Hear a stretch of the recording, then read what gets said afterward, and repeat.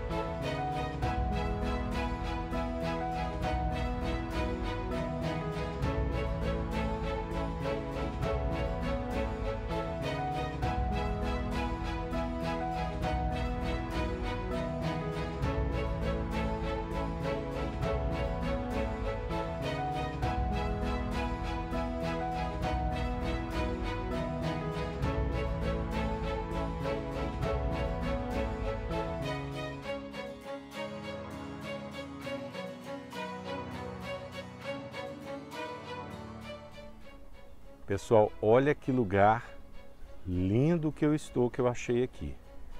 Esse é só um pedacinho da praia. Olha que lindo! Observem agora, eu vou mostrar aqui. Tem um forte ali, olha. Que demais!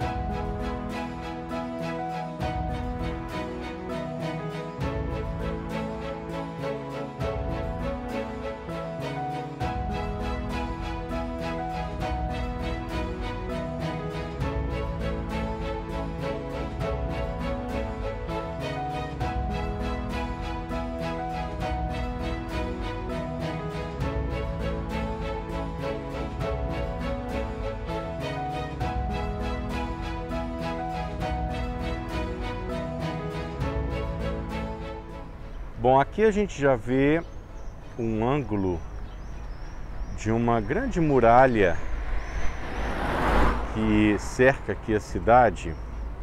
Nós vamos entrar ali pela Porte Saint-Louis. Tá vendo? E aí vocês vão ver alguns detalhes aí dessa cidade, a parte mais antiga aqui de Saint-Malo e com muitas curiosidades. É impressionante, uma cidade cheia de história também, viu? Vamos lá. Olha pessoal, que fantástico! Nós estamos, nós passamos agora pelo muro, não é? Que na verdade não nem se chama muralha isso daqui, porque não é de pedra, igual nos castelos, né? Que é todo de pedra maciço. Não. Isso aqui são dois muros, tá vendo? Igual tá vendo aqui a, os parapeitos, ó. E entre eles tem terra, provavelmente entulho, e eles colocam, claro, esse piso para gente poder circular em cima deles. Mas então não é exatamente uma muralha, isso se chama reparo. Reparo. Bom, essa arquitetura é que é realmente impressionante. São prédios incríveis, lindos, do século XVIII. Olha, e tudo isso que vocês estão vendo, na verdade, foi destruído na Segunda Guerra Mundial. Sim, foi destruído na Segunda Guerra Mundial. Mas como é que está aí agora assim, Leandro? Tudo tão bonito. Foi restaurado e eles fizeram praticamente é, restaurando mesmo, copiando a arquitetura da época. Isso é que é impressionante, não é? E muitas vezes até utilizando algumas pedras recolocaram algumas pedras. Por isso, em alguns prédios vocês vão ver muita diferença de cor das pedras, porque algumas são, são da, né, do que eles encontraram depois que foi destruído.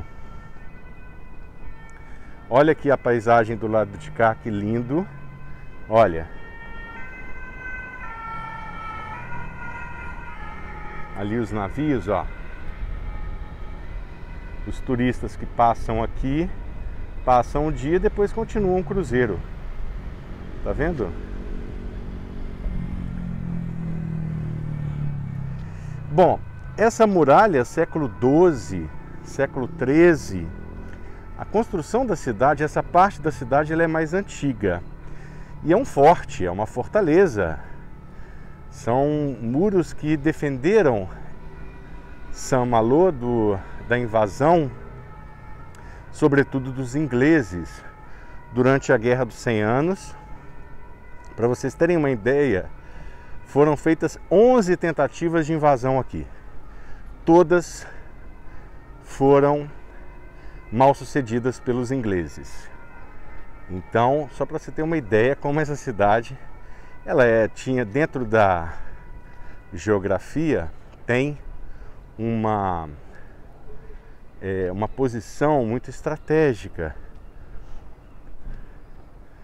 para invadir a França, né? no caso a Inglaterra.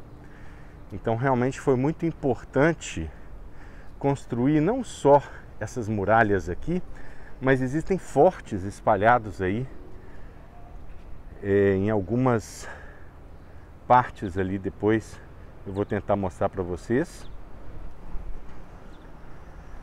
na parte do mar mesmo. Ali tem alguns fortes. Olha aqui, que bonita essa paisagem, né? Então essa parte da história que foi formando a cidade, a arquitetura da cidade, e essa parte em especial fazendo com que ela se tornasse bem turística, porque é muito, tem muita história. Olha aí, tem muitos bares e restaurantes. Nós vamos entrar depois pelas ruazinhas, né? Aqui a gente vê realmente como é rústico, né? Tipicamente do século XII, do século XIII E uma personagem da história em especial tem muita relação com essa cidade, que é a Ana da Bretanha, Duquesa Ana da Bretanha. Olha que linda essa torre que tem ali no meio, que é a igreja. Nós vamos lá depois, olha. Que demais, viu? Realmente uma cidade cheia de de surpresas. Que demais. Aqui tudo são prédios residenciais, ó.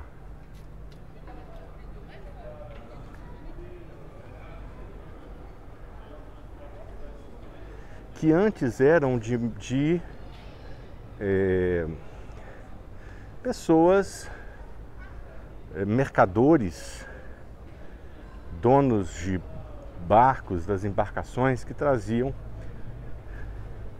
produtos de outros lugares.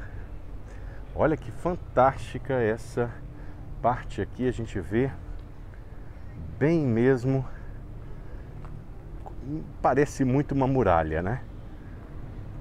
Como se fosse uma muralha, uma defesa realmente muito forte para a cidade. E a gente continua andando só, só essa caminhada aqui já vale o passeio, né? Vem comigo! Olha lá que interessante. É, tá vendo ali um, um, um restaurante com o nome. A Duquesa Anne. Ana, né? Realmente ela, ela faz parte da história aqui da, de Saint-Malo e é uma personagem muito importante simplesmente porque ela foi também rainha da França, consorte, rainha consorte, quer dizer que ela foi rainha esposa de um rei. Mas de um só rei não, de dois reis. Ela foi duas vezes a única rainha que foi duas vezes rainha consorte da França. Ela se casou primeiramente com Carlos VIII e depois com Luís XII. Foram os dois reis que caíram nos encantos da duquesa Anne de Bretanha da Bretanha. Olha, eu vou dizer para vocês, o cheiro está muito bom. Os restaurantes aqui me parecem muito bons. Nós vamos ter que degustar. Não tenha dúvida. Olha que fantástico que é isso daqui, gente. Realmente eu estou encantado. Eu não tenho mais dúvida, é a principal cidade para você visitar aqui na Bretanha. Na região da Bretanha aqui da da França, viu? Imperdível para quem vier para essa região, não pode faltar. Não pode mesmo. E por que que a duquesa é tão importante aqui? A duquesa Ana foi tão importante para a história da, dessa cidade, Leandro? Ela realmente dominou essa cidade. E nesse período em que ela imperou aqui, vamos dizer assim. Olha que bacana isso daqui, viu? Fantástico essa torre. É, nesse período, ela realmente foi muito é, atuante aqui, governando praticamente aqui em Samalô. E uma coisa curiosa, aqui tinham vários canhões. E esses canhões, as pessoas na verdade não gostavam da cidade não gostavam nem do castelo que tinha aqui de Samalô, nem dessa muralha, nem de nada, porque ela aqui voltava os canhões para dentro da cidade.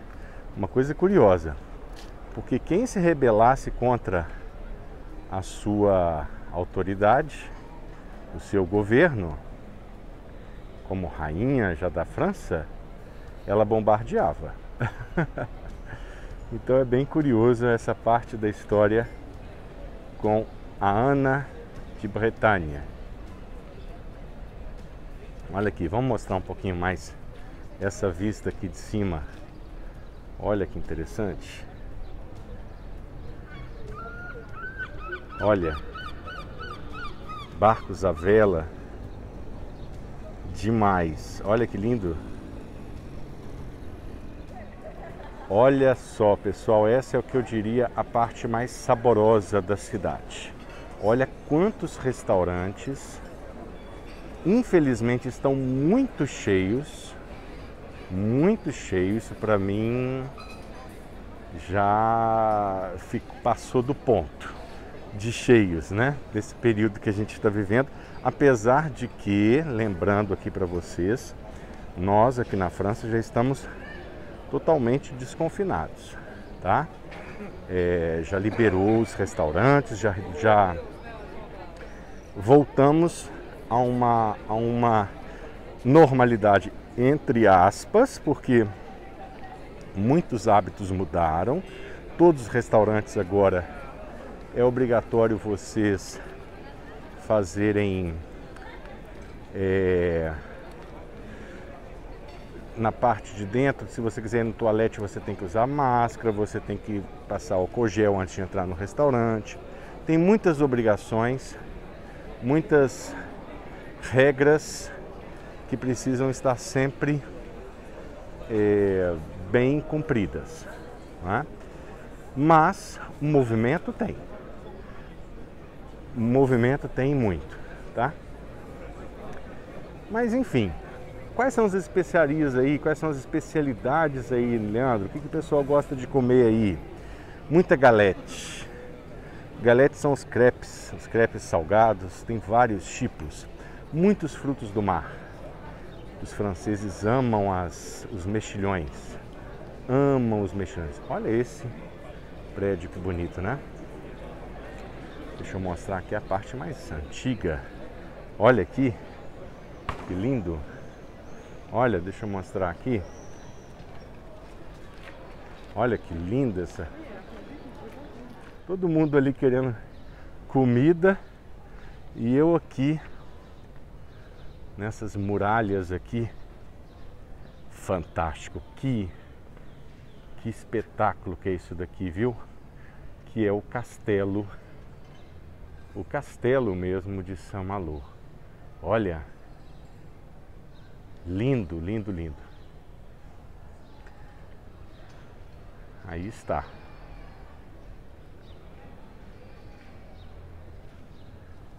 É, você já deve estar tá aí começando a ter vontade de colocar Samalô no seu roteiro, não é? é, você não vai se arrepender não. Tem muita coisa ainda para mostrar para vocês. Dieu e liberté. Deus e Liberdade. Olha aí, 19 de junho de 1982. La Ville de Saint-Malo. É, realmente muito bonito. Vamos continuar. Vem comigo. Bom, aqui a gente observa aquilo que eu havia dito de que na arquitetura desses prédios lindos, por sinal, a gente nota uma diferenciação de cores das pedras, de tonalidades, de textura, justamente porque foram pedras reutilizadas é, na, na, reconstrução desses prédios, né? que as próprias pedras, depois dos entulhos que ficaram aí com toda a destruição dos edifícios na Segunda Guerra Mundial, eles reutilizaram na restauração aqui, tá vendo? Eu fico tentando imaginar como é que não ficou isso aqui tudo. Gente, deve ter ficado um cenário muito triste. Tudo isso aqui, ruínas, destroços. Impressionante. Bom, esse é um dos fortes que tem aqui também próximo da cidade. Realmente, essa cidade não podia ser invadida, viu? Não era impossível. Tem vários aqui perto. E agora a maré está bem alta, olha só. Que é também característico dessa região a gente ter marés muito altas. Aqui é um lugar bem agradável para o pessoal comer. Olha aí, com essa paisagem também bonita e essa arquitetura de fundo. Em todos os lugares a gente vê traços de destruição e de construção mesclando e, enfim, uma mistura de estilos no meio das pedras, uma arquitetura que acabou sendo ali toda encaixada né, se adaptando ali às condições que a cidade oferecia, uma parte, como eu disse, também restaurada, mas aqui a gente vê, deixa eu entrar mais nos detalhes para vocês entenderem exatamente o que eu estou falando, né? Aqui uma construção completamente, vamos dizer assim, perdida aí no meio dessa desse, desse restante todo, não é? Desse conjunto. Ali a gente vê traços de destruição, ali provavelmente era um prédio que tinha uma continuação da arquitetura que eles né, destruíram e depois construíram uma parte de novo. Olha aí, tá vendo? A, a, a parte ali, inclusive as paredes, pedras com uma é, textura diferente dessa daqui, por exemplo, é? Então tudo isso são traços da história que aconteceu aqui na cidade. E ali uma outra arquitetura também de um outro período e por aí vai. Só nesse pedacinho aqui, eu diria que eu, encontrar, eu encontraria aqui dezenas de estilos e de é, situações que passou, passou pela história, né? Incrível. Bom, agora as imagens vão falar por si só. uma imagem vale mais do que mil palavras. Eu acho que essa aqui é uma é imagem que vale mais de um milhão de palavras.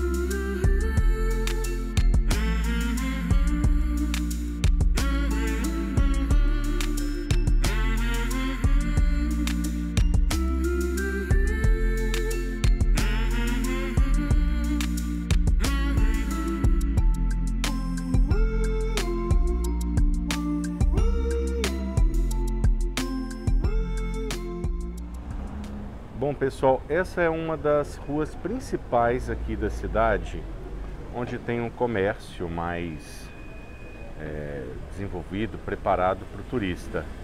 E aqui passando o trenzinho, olha. Esse é o trenzinho. Bom, vamos subindo. Aqui as lojinhas de souvenir, olha. Tem as lembrancinhas, como toda a cidade não é? Vamos subindo um pouquinho aqui. Eu vou mostrando para vocês o comércio. E aqui mais restaurantes, aqui mais uma creperia. Muitos frutos do mar também, né? É uma especialidade também da região. Sobretudo ostras e as mules, que são os mexilhões. Aqui tem muitos. Mexilhão também com alguns uh, molhos, assim, caldos diferentes.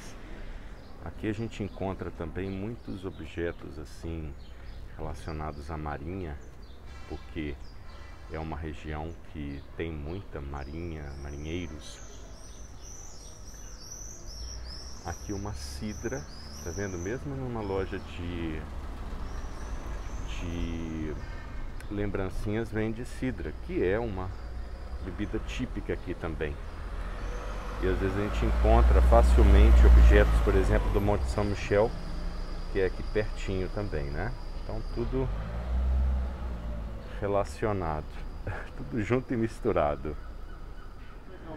Olha que lindo essas gaivotas. Que lindo isso. Que é o que mais tem aqui também, viu? Muitas gaivotas. Olha aí, quanta coisa. É claro que o, o, o comércio vai explorar. Olha aqui o marinheiro.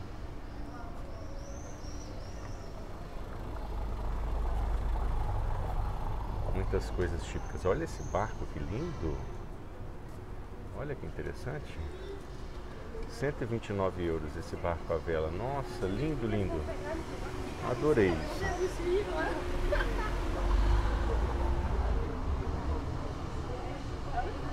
Olha que fofo essas tigelinhas, cada uma com um nome. Será que você encontraria o seu? É claro que aqui a grande maioria são os nomes franceses, né? Que demais! Eu não vai ter o meu nome, com certeza não. Senão eu compraria.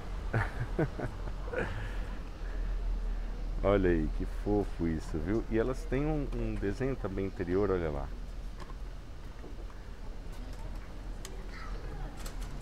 Aqui tem muitas porcelanas, muita coisa assim. Olha. Olha, a temática linda. Olha, realmente é pra. é tentador, viu? Muita coisa muito interessante.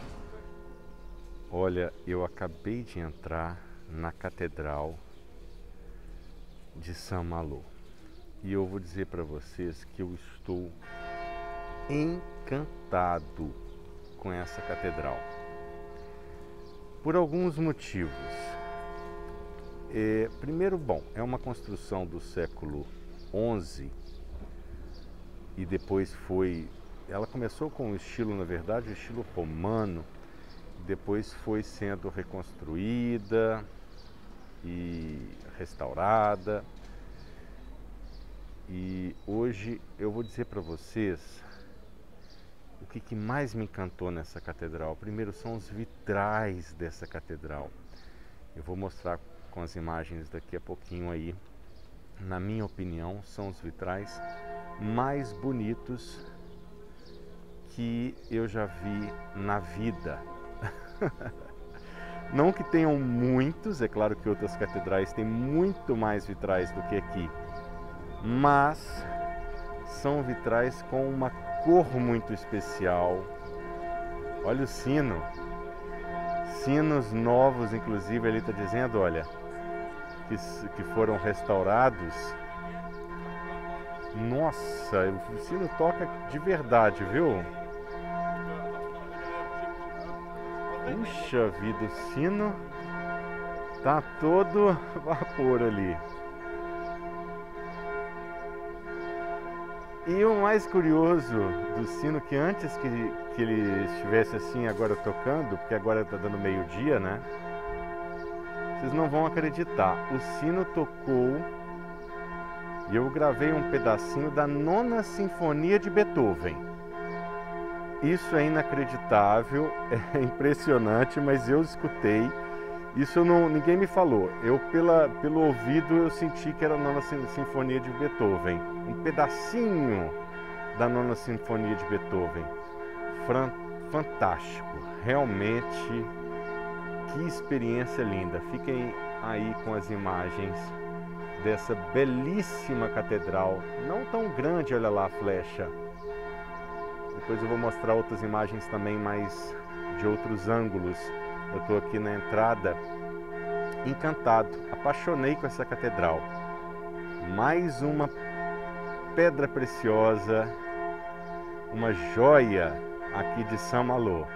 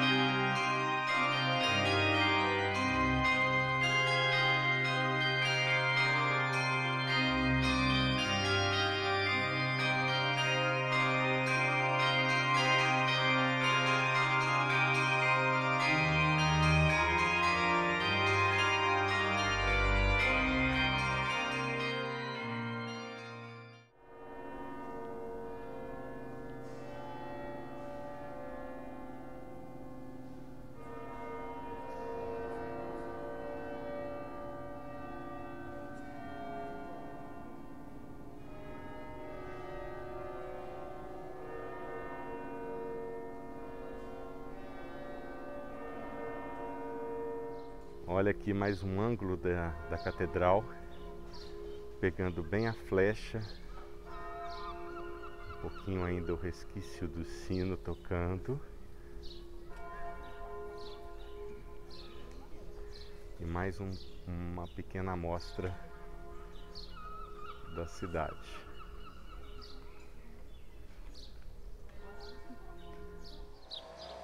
Eu ainda estou encantado lá com, com os vitrais dessa catedral linda. Eu encontrei esse ângulo aqui para admirar um pouquinho mais a Catedral de Saint-Malo.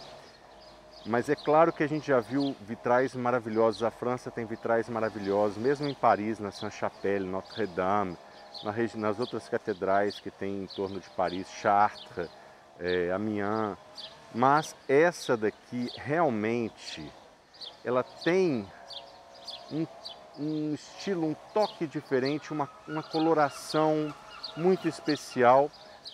Claro, são vitrais, são menos vitrais, mas dos vitrais de todos que eu já vi na vida, talvez sejam dos mais bonitos.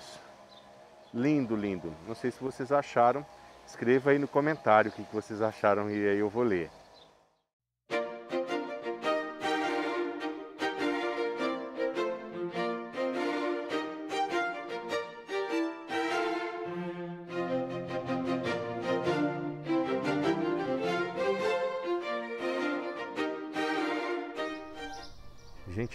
Essa capelinha, que minúscula. Olha isso, ela na verdade, ela está situada exatamente no ponto mais alto desse, desse monte de Samalu, que aqui também tem. É como se fosse um grande monte. E ela foi construída no ponto mais alto. É a capela de Saint Aaron uma construção do século XVII. thank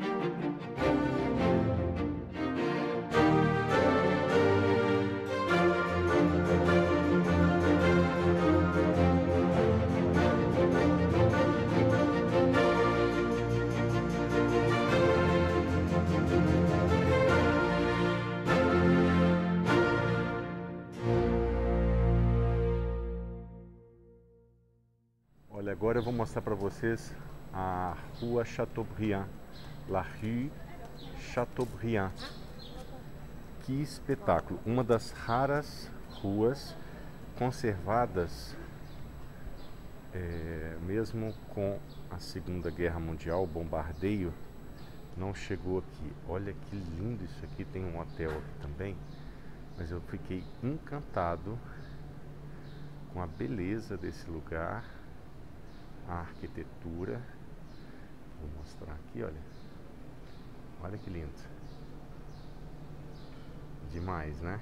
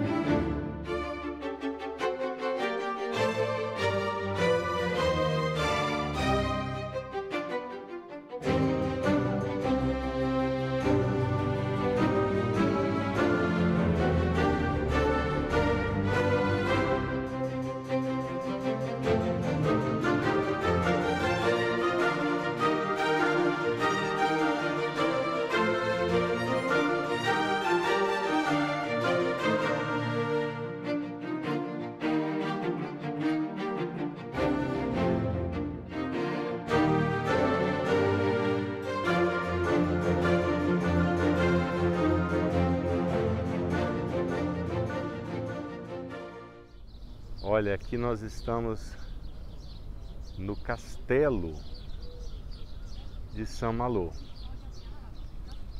que infelizmente está fechado, é o museu da cidade, mas agora está fechado. Volta só em 2022, acho que para reforma, né? Mas que lugar lindo, meu Deus! E aqui logo a gente já tem também o mar do outro lado, aqui pertinho. Olha como tá florido.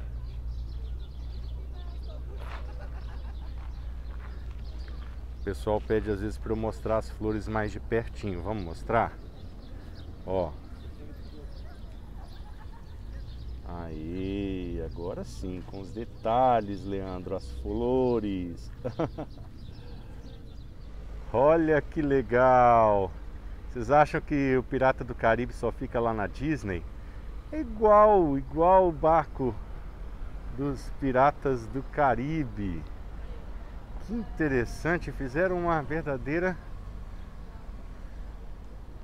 réplica aí dos barcos dos piratas, olha aí, ó. Interessante, hein?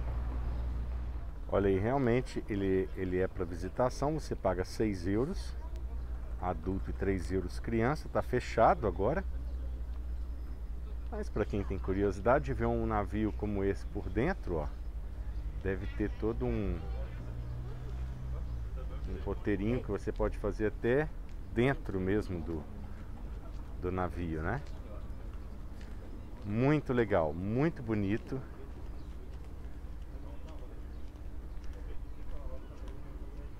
Vamos ver o lado de cá, quer ver? Olha os outros ali.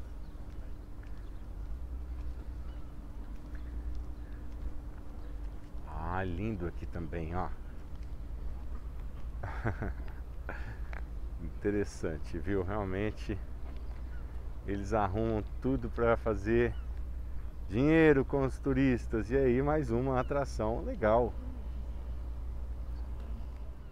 Olha, aqui eu quero mostrar para vocês. Está ali o navio dos piratas, está ali o castelo de Samalô. É uma vista aqui também interessante do castelo, apesar desses carros todos aqui que tem um estacionamento por conta desse cassino. Eu queria mostrar, olha só, tem um cassino. Muitas cidades do litoral aqui na França têm cassino. Pessoal, gasta mesmo dinheiro no cassino. Vocês estão achando o quê? É, quem tem, tem para gastar, não é? Então, eu acho uma. Eu sou contra, quero deixar bem claro. Ficar jogando muito dinheiro fora nesses, nesses jogos de azar não dá não. Mas Tô mostrando aí porque tem quem goste. E, e é isso. Além de tudo, Samalô tem praias simplesmente maravilhosas para você também entrar na água. Eu confesso que a água é um pouco gelada, mas depois que você entra, acostuma. Claro que você não vai vir aqui no inverno, né? só no verão se você quiser entrar na água. Mas olha que linda essa essa essa praia. Eu vou mostrando outras imagens que nós vamos capturando para vocês.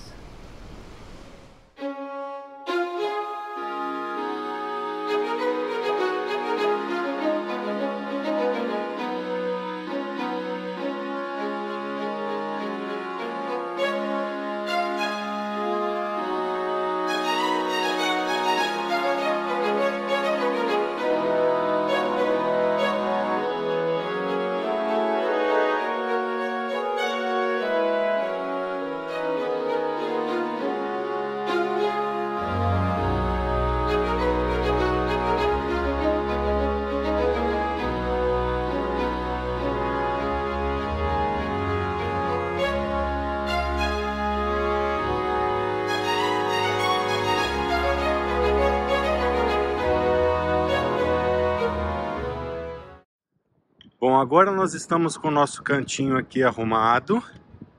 Olha, ficou bom. Né? É bom vir prevenido, né? Com uma barraquinha e uma cadeira, um, um parasol. Tem que ter uma comidinha ali, claro, dentro daquela bolsinha azul, que é térmica, né? E enfim, tem as coisinhas ali, bebida. Esse é o nosso cenário e o nossa, o nosso cantinho para a gente poder descansar um pouco. E eu quero mostrar para vocês, olha aqui que lindo que é a arquitetura. Olha que lindo. Demais, não é? Eu gosto muito desse estilo. Na Normandia eu gosto muito da praia é, Deauville, Troville, que eu sempre, eu sempre vou. Mas agora essa é uma das que vai ficar também na minha lista para a gente poder frequentar. Porque eu gostei muito, além da parte histórica, como vocês viram, tem como a gente entrar no mar para poder aproveitar toda essa paisagem, toda essa beleza. Olha isso.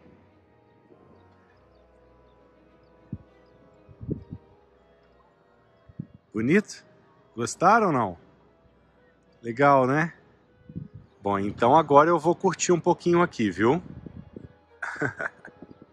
e curtam aí mais imagens de Saint-Malo.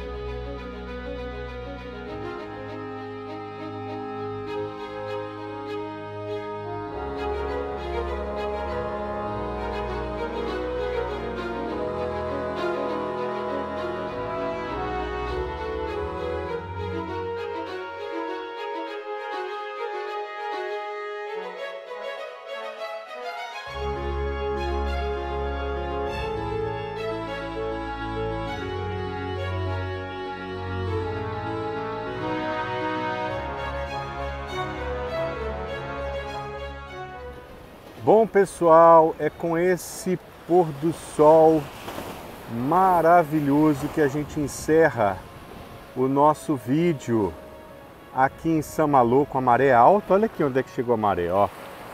Olha, impressionante, né? E pensar que há poucas horas a gente estava ali na frente e a parte do mar estava bem ainda lá na frente. Olha que pôr do sol lindo, gente demais, né? Se inscreva no canal, ative o sininho, deixe seu like, entre em contato com a gente se você quiser conhecer o Monte São Michel e São Malo na mesma viagem. A gente pode fazer isso tudo e ainda com fotos, tá bom? Vai ser demais. E é isso, até o próximo vídeo. Fui!